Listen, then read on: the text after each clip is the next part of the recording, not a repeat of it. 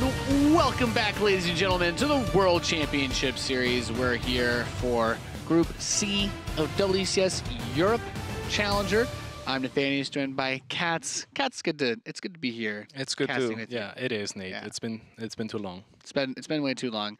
Uh, we've got we've got ZVZs coming up. I love So ZVZs. I just want to say in advance, thank you, Catz, for being here, for having my back, so that I don't have to sit here and try to talk about things I don't understand. Because ZVZ is just, it's on another level. You know, you need to ascend to a higher plane to really get full grasp on that matchup. Listen, ZVZ is one of my favorite matchups to watch. I feel like the matchup has somewhat of a stigma. People are like, "Oh, ZVZ." I'm like, dude, I fuck, oh, I fr- freaking love ZVZ. Yeah, Um, and that is simply because I feel like the uh, StarCraft is a is a game that's played on three fronts.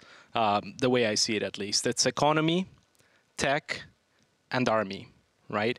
And in ZVZ, I think it's always just so glaring to see what advantages are being taken and how the players exploit those advantages. yeah. They feel a lot more punishing than the other matchups because, uh, at least the way it feels like when you try to defend in ZVZ, it's like if you're behind and you're trying to do anything, like if your your opponent can just punish you so easily. Our next matchup is Starbuck versus Bly. We are loading into this one right now to kick things off. This is our elimination match. The loser of this best of three is out, and the winner gets another chance. But we were talking earlier, Catz. Starbuck is the underdog of this group. Absolutely. I really like the way that he played against Serral. He played like he was the underdog. He took risks. Um, well, let's get to introduce them. Yeah. Uh, that I mean, he is our underdog in the Northwest. We're starting things off on Backwater. He is Starbuck. And he is an overdog at the bottom right hand side. It's Mr. Bly. Overdog, you wouldn't call him like the, the crowd favorite or I like overdog. Overdog? Yeah. I've not heard that one before. Now you have. Yeah. But yeah, I really like the way that Starbuck was playing against Serral. So in game one, one thing he did and one thing that uh, you were talking about in terms of ZVZ being punishing was he basically said, you're the better player, I'm going to go gasless. And in going gasless, what you do is you shut yourself into into those two bases, right? So you concede map control. You get a little bit of an advantage just economically by going gasless in itself because you're not mining the gas, right? So those are extra drones mining minerals. Um, and that makes it so that you don't have to go through the action trade that is Ling Bane. And we actually see Bly here going gasless himself. This is one of the best maps to go gasless on, Nate. I assume it's because of the third base being protected by your wall at the natural. Absolutely, yeah. So there's one single choke leading into all three bases, which means you can just condense your defense on that natural. And, and maybe with just one creep tumor, it's particularly easy to block um, with just a couple of Evo chambers and a Roach Warren, provided that you can do it um, early enough. So I really like this approach by Bly. Meanwhile, Starbuck is getting the ling speed, and if this doesn't pay off, then you know Bly is going to have a significant edge as far as economy goes. Usually, the drawback from going something like gasless is what we saw from Starbuck. You talked, you touched on it in his game against Serral, which was that Serral got his third earlier, right? Because he gets that map control with the ling speed. In this case, that's not going to be the case. Bly actually already got his third going. Yeah. And I mean, as long as he holds whatever the first initial pressure is, he shouldn't have to worry too much about the speed punishing him since, as you already pointed out, this map chokes oh. very Oh. nicely, but the spine crawler is going to get canceled. And, and by the time he saw. Lings already get across the map, he's already got a few of his own. Yeah, I'm not sure what he saw that made him cancel that spine or start that spine in the first place. But uh, yeah, we see even lings here. And Bly is chasing out Starbuck, which is a bad idea if you are going gasless for the most part, because when the speed kicks in, Starbuck can choose to take those engagements uh, whenever he wants, right? So that's the disadvantage. It's not like lings without speed are weaker than lings with speed. It's the fact that the lings with speed can choose to take the engagements that they can win and avoid the ones that they will lose. And Yep. here it- we're gonna see exactly that unless Starbuck decides otherwise. And he's gonna say, you know what, you're trying to lead me away from your base. This is my opening. I mean, he's going to run over, but there he's mentioned oh. it, Catz. The wall is on the way. Evolution Chambers being produced. Now the Lings are going to bust down the bottom one, and Starbuck is actually going to make his way inside of Bly's base. We see the Lings, as you talked about, not having speed. They cannot choose to force this engagement. So we have the surround on the Queen inside the main mineral line, not going to focus it down. And Starbuck is going to run back over towards the natural and try to grab a queen, maybe some drones. Man, that was a brilliant move by Starbuck. Just very well thought out. He basically said, you're trying to lead me away from your base, so I'm not gonna, you know, I could take this Zerglings for free. Instead, I'm gonna try to abuse whatever it is that you're trying to um, to make happen to for, in, in, terms of defense, right? So just really well done. It's uh, ultimately not gonna pan out for him all that well, but it does a little bit of damage, and the decision was, you know, it was nice. It's the kind of risk that, that you want to take if you feel like the underdog. Yeah, and he sees that this third base is starting very late for Starbucks. So, I mean, Bly doesn't have a crazy amount of saturation on those bases. He did lose a few drones, but is it, you know, the, having that third base early, I guess the larva makes up for it, right? Yeah, absolutely. And uh, also he went gases, so he's going to have, he's going to, well, he should have had an economic lead, actually, but he's behind in drones.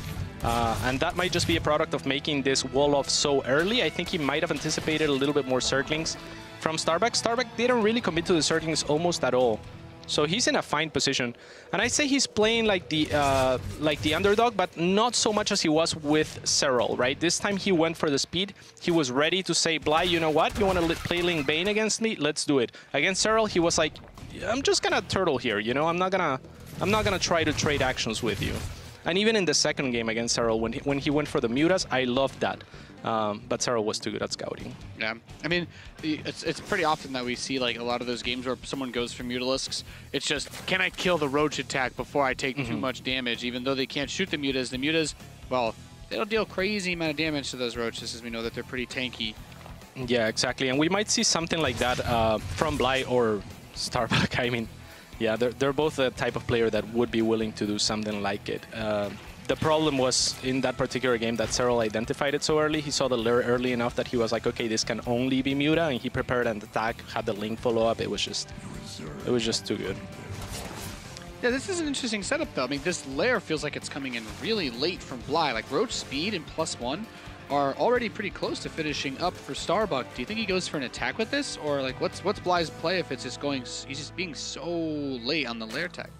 Yeah, Bly has had to catch up in workers, and now he's ahead, so he has that economic lead, but it's not a big one. I think that I like Starbuck position a little bit better.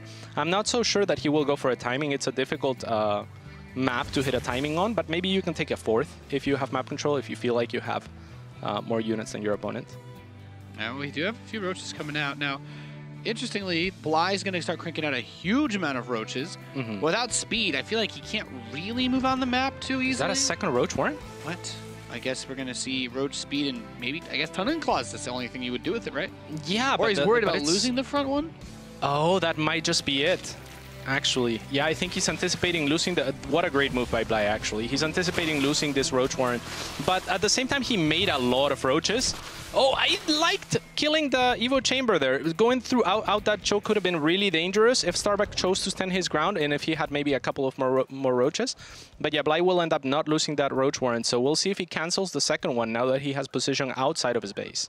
Yeah. That is one of the that's that's one of the bad things about walling off and going gasless, right? It's that you create that choke for yourself uh, to get out of. I mean, we've seen quite a few players, even in Challenger, lock in their late game units. We've seen them trying to get units like Ultralisks out. Snipe on the Queen, not bad before that Spine is able to root, but keeps the Roach Warren alive so far. He does have the backup Roach Warren in the main base, just in case. Mm -hmm. And Starbuck, you can see that he didn't actually wall off, and, it, and it's exactly for that reason, right? He had the map control, uh, whereas Bly needed the wall off for defense. So just throwing it out there because, you know, people might think it's always good to wall off. That's, you know, not the case. Yeah, especially if they had more Ravagers and you really have to worry about those Biles mm -hmm. knocking things down. We do have Tunneling Claws actually being researched by Starbucks, so Bly not making his move towards that. So this is one of those great harassment tools. We've seen it time and time again. Roaches with their regeneration while they're burrowed are very difficult to take down. And it gives Zerg really good harass without having to use things like drops and whatnot to get through. Or at the worst case, just reposition your army. Absolutely. Now they're both going for Tunneling Claws. It's not my favorite map to do it on because of the same reasons why Gasless is good, right? You're going to have to go in to all three bases through that choke. But uh, the fourth base ev eventually will open up a possibility where you can split in two different ways. Still, it's not three or four different ways like it would be on other maps. Um, you know, and that's when, when the when the burrow is most dangerous. Yeah, we do have him poking down the ramp, Starbuck. He has that one upgrade advantage with the plus one Carapace. And with that plus two coming in, I mean, trying to take a poke here and there. Mm. especially in this choke point. Now he can heal his roaches very quickly since tunneling Claws is done too. Yeah, absolutely. And both players positioning and posturing around this choke point, and Starbuck is kind of just going to say, you know what, I'm going for the fight right now. He's not looking to uh, sneak past Bly, he's just looking for the fight, but he now will find Bly has a lot of units. The Ravagers are actually repositioned by Bly, and that was a great move by him. Yep, having those biles available, even smacking those burrowed roaches was really nice. Plus two attack is just kicking in right now for Starbuck though. Oh, He's the roaches are so low from Bly. again.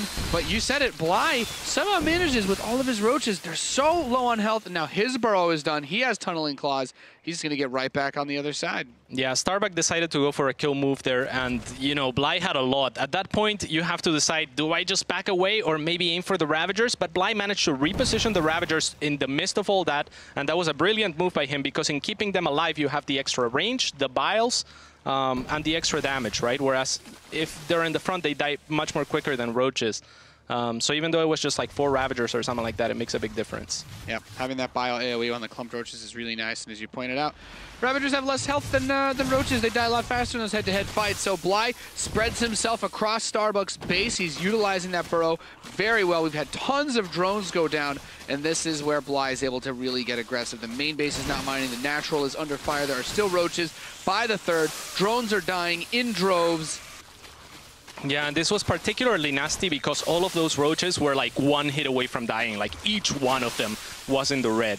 Um, but you know, one unit, maybe two, maybe the other unit is the Mutalisk, but the roach just burrowing has such a good regeneration that that that kind of engagement is just so hurtful because it seems like you could have easily won it if you were Starbuck. If you had one extra shot, uh, one extra volley from enough roaches, you could have cleaned off most of that army. Uh, but it not being the case just means that they're going to have brand new units in, in just a few seconds. Yep, and then talk about that army being finally slowed down a little bit. Here's another one in the fourth base. 48 drones have died, and Bly just, after the way this game started, was a little bit slow, a little bit bumpy here and there, but just runs away with it after. You said it, Starbuck goes for the kill move, and he just, he failed, and now he has really nothing past this. He can try to clean this up, but what, realistically, what does he do even if he kills this army? Bly's just going to have another one ready as soon as he's done. Yeah, he's got to be thinking about the next game, I guess. I guess. I mean, he lists 58 drones. So- So we could do the caster thing where we're like, I mean, I guess maybe he could like. Don't know. So like the the, I'm just gonna do the caster thing here for a second. If if I'm Starbuck and I this is my last game in the world and you know I have to win it somehow, I just kind of hope that maybe Bly never attacks and get maxed. So, you know, if you get maxed and, and you have nine workers, then your army is gonna be pretty big. GG, Bly takes the first game. I mean, dear, I mean, you know what? If he was able to max, If he was able to max I mean, with nine workers, that's true. If, he, if only he had. then uh, his army would have been huge. I mean, if he had just built like 10 Banshees there, really, that also would yeah. have had a huge impact on that fight. But Bly just, I mean, he comes into this group, I think a lot of people, he, he's got a lot more history, a lot more experience in the big stage than a guy like Starbuck. I didn't I didn't dislike the position though. I mean Starbuck had the tools really early. He had the burrow move faster. He had his roach speed and his plus one much, much faster. And even during the fight he still had the upgrade advantage. But what what really stood out for you as like what allowed Bly to do that? Was it getting that drone count up ahead a little bit when they were both saturated on three bases? You know what? I was actually very surprised by the fact that Starbuck managed to get ahead in the economic game just by virtue of making those 10 lings, forcing the wall off by Bly, uh, running by, right? These were all great moves that actually put Starbuck in, a, in an economic lead, whereas that's the strength of Gasless. So Bly was a little bit behind on all fronts, not, not, you know, not a huge disadvantage on all fronts. I think that the, the, the big problem for Starbuck was that he saw his timing and he went for it regardless of the amount of army that Bly had. If he had just sat back and kind of maintained that um, same game, maybe getting maxed, I think we would see uh, potentially different His, outcome. his plus two attack did finish during the fight, so maybe that's another factor that would have been. That's an excellent point, If yeah. you had it throughout the entirety of it, but that Yeah. map also things get tricky. They're fighting in the trenches in that that low ground area in the middle. yeah, upgrades can be really deceitful. Like you look at it and you're like, okay, it's about to finish, but don't go until Kerrigan tells you to go. Yeah. Well, I think I think Bly had the Abathur one on. I think when you when you Yeah. spectate him, you can hear which ones. I was like, all right, Bly's, Bly's got the Abathur going Nice, nice. on. Nice, nice. Do you So you, the you wait now, for avatars. No, I use Alarak. Alarak? Yeah. For Zerg? Oh yeah, he's the best, dude. He just yeah, he talks Uh, a lot uh, of crap. Yeah. Alarak's pretty pretty cool. Yeah, it's like Yeah. Make more of those overlords. Disgusting creatures. I'm like, chill, dude. Next map, Neon Violet Square. Ooh. We are counting down to get into it. I Good love time. countdowns. Good time. They remind me of uh, New Year's. New Year's is great. It's great times. Great times. I can't wait for next one. You know what I'm saying? else, yeah.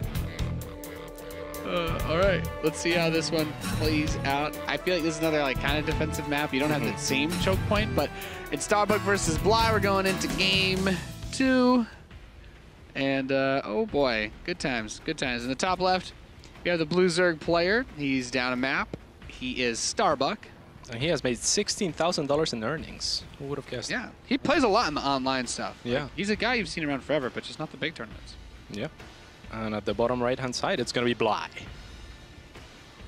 Also plays damn near pretty much everything there is. Oh, yeah. Bly is definitely a, an online tournament. Bly, Bly reminds me. You think back, he's like a, a legacy from the era of mass online tournaments where all the Koreans would play every single day. Mm, yeah. And you'd be like, "Oh, Hyun made like fifty thousand dollars this year." It's like, did he win a tournament? It's like, no, he mm-hmm. just won every. He won a thousand Playhem dailies. Like, that's that's what happened. Yep. And Bly is Bly's one of those guys that he just does ne- not miss anything, like any tournament. Like, oh, random tournament. Cham is another one. Cham Yeah. and Bly. Yeah. They play in everything.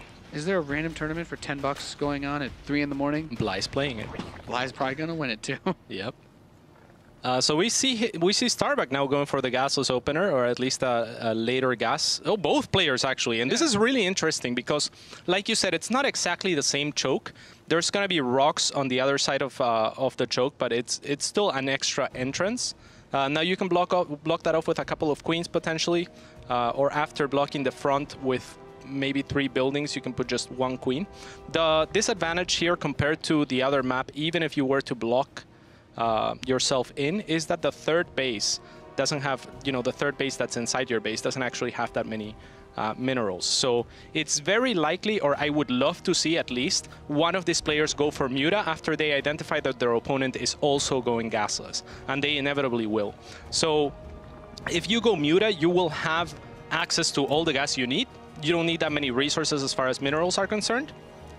Yeah. Um, I and mean- it kind of it's kind of perfect against gasless. Because the base, just to clarify, the base has less minerals, but it has the same amount of gas Mm-hmm. as any normal base. So uh, definitely makes this map fun for people who like to play mech and other matchups. Oh yeah. If you need gas, this is a good map. You have a little bit of less minerals, but it's so easy to defend it. So, what's the? I, I guess not- nothing. Neither player's really identified it yet, just yet, have they? No, not yet. Bly is gonna give away some hints uh, based on how he moves with his lings. And Starbuck, they're both going for scouting, right? Like, but Bly is gonna move uh, into Starbuck, and eventually he's not gonna continue to move in, which will give away that he doesn't have gasless. Or if he looks for trades, um, you know, unfavorable trades, then that'll also give it away. This queen is postured really far up there. Yeah, actually gets caught on the ramp, surrounded by Oh, man. lanes, and he is just gonna pick that one off, no problemo. No problemo indeed. I mean, the idea is there for Starbuck, right? It's the queen tanks for the lings, but that's not enough lings. So he needed either his second queen there, at least the lings a little bit closer to the queen or right behind the queen, or just not to take that fight yet.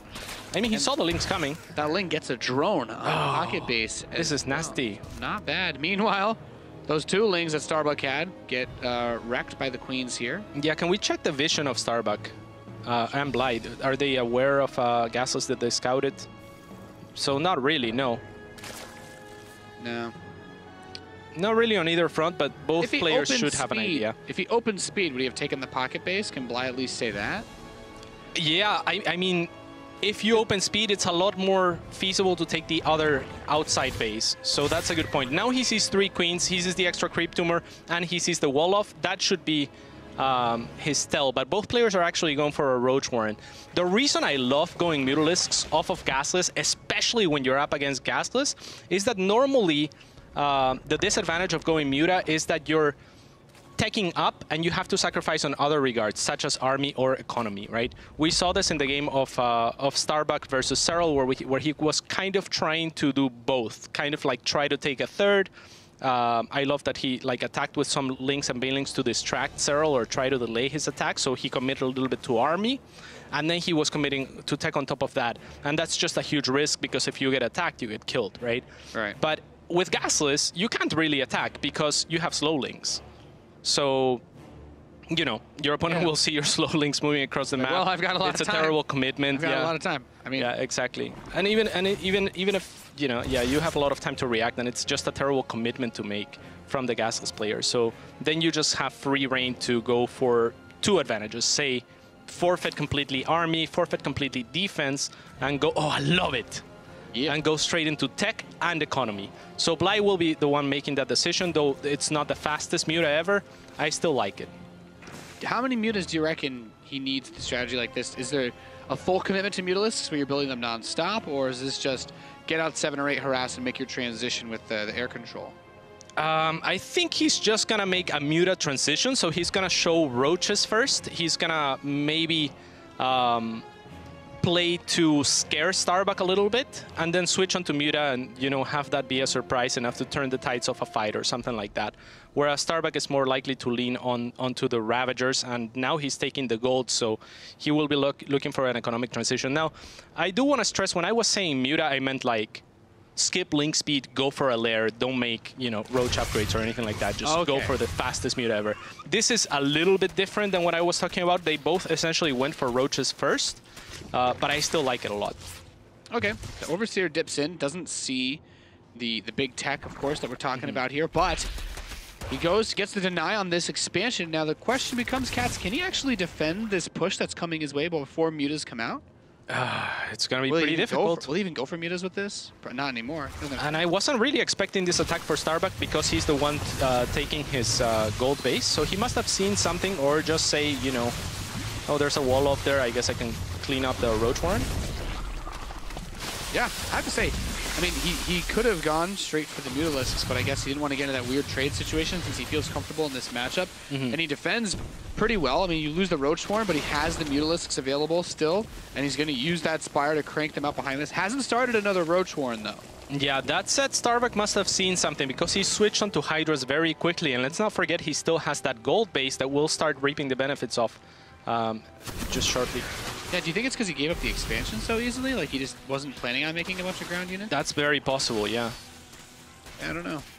Just a handful of Lings stopped He, it. he had to have seen something. Um, or maybe he just favors Hydras, but that's, you know, pretty I uncommon. guess I guess he could just like them a lot. We do have a, Mm-hmm. a good amount of Mutalisks being made, and you know the high. I guess the Hydralisks, you know, until you have the mobility and the range upgrade, in lower numbers, the Mutas can really mess those up too. But of course, now he knows 100% that they're here, pushing the Roaches away, and he wants to send his army to the north side to take out this gold at the same time.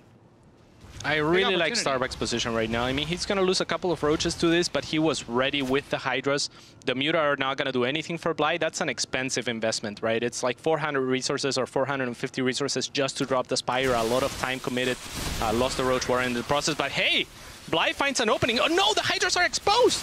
Yeah, it gets a few of them on the left side. The Mutas are going to come in too, which means that the anti-air has been eliminated, so the Mutalisks can help pitch into this fight to help clean up the Roaches, and he still has that one Ravager alive. If he can keep that one alive, of course, that bile is so nice to have for this army. Smacks into some of the Roaches, and that Muta count sitting pretty at 14. Oh my a God. single Hydra. and Oh my it. god, expect the unexpected when you're playing Bly. This guy just moved into the gold. He was like, you know what, I'm gonna go in, what you got? And he finds like, what, six, seven Hydras? That is so much DPS that he took. They are not, they are very squishy units. They are glass Yep. cannons, essentially. They don't have the ability to move out. So those Hydras should be protected by the Roaches being in front um, from Starbucks. So just uh, very unfortunate He didn't. turn of events there. I, I mean, it seemed like he definitely had enough Hydras to deal with the Mutas if his Roaches could engage Bly's Roaches, but Mm-hmm. Yeah, I think and, you and said Bly actually committed to more mutas, which was great for Starbuck because mutas are not fighting units. So Bly was never going to be able to kill Starbuck so long as he didn't catch like seven Hydras for free, right? Yeah. And then Bly just great positioning, knows what to go for, goes for the rest of the Hydras with the Roaches, mutas clean up. GG.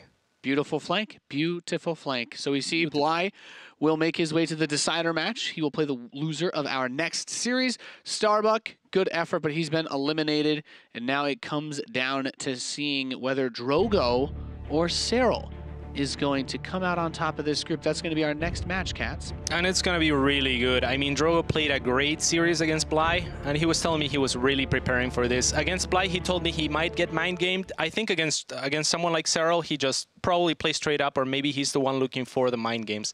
Uh, so I'm very much looking forward to this one. All right. It should be a good series. We're going to go to a break, ladies and gentlemen. When we return, the winners match of Group C here at the World Championship Series Europe Challenger. We'll be right back.